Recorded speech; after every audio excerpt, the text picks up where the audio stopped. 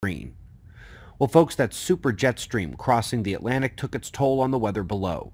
Hurricane force winds, storm surges, flooding, roads blocked, air travel canceled, major waves at the coastlines, and it's not done yet. Eyes open today. Meanwhile, this keeps happening. It's been quite the lopsided season as record snows continue to fall in some areas, while one of the snowiest cities on Earth is left scratching its head wondering where the powder went. From powder to dust, how about this? Our solar system ejects a few tons of dust every second. Tons by the second. This is due to being pushed out by the solar wind and expansion and heating from the photoionization by UV light tons of dust per second for eons and eons. So when we say that the solar system interiors are more pristine and the interstellar galactic space is polluted with gas and dust and nova remnants, that's what we're talking about. We've got confirmation that the Fried Egg Nebula is a recurrent nova. They thought they'd spotted two shells before, but now even a third is confirmed.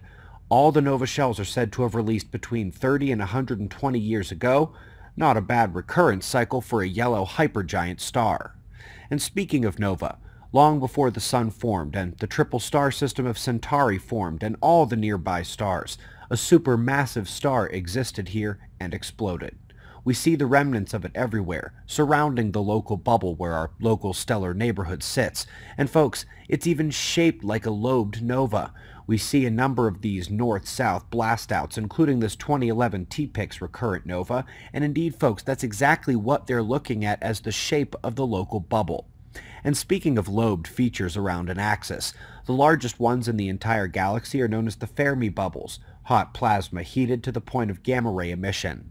Once upon a time during a galactic outburst, this would have been lit up, much more visible, and interestingly, since everyone who doesn't live at the polar region of Earth sees the galaxy cross the sky vertically like this, had someone been around to see such a galactic outburst and lobe brightening, it would have looked incredibly similar to something we saw yesterday from the lab and numerous central energetic sources in space.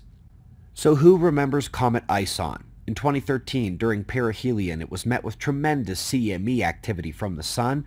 Now, from Earth's perspective, the CMEs weren't aimed our way, but Mercury was in prime hit position. In fact, Stereo spacecraft caught the event perfectly here as Stereo A has Mercury in the field of view, bright dot to the left reflecting sunlight, direct CME impact. Stereo B even caught the eruption heading over towards that direction. This storm is said to have caused a field collapse at Mercury, allowing solar plasma to penetrate to the surface. Now, while Mercury's field is weak, it is there, but it was overcome in much of the same way that could possibly happen someday at Earth. We know the Carrington event almost did it already in 1859, and another 200-year storm or one of the more rare super flares would not only collapse the sun-facing field, but could arc discharge down with the force of Earth's field and that of the solar wind. Last but not least, we've seen hints of this before, and we won't get much more until...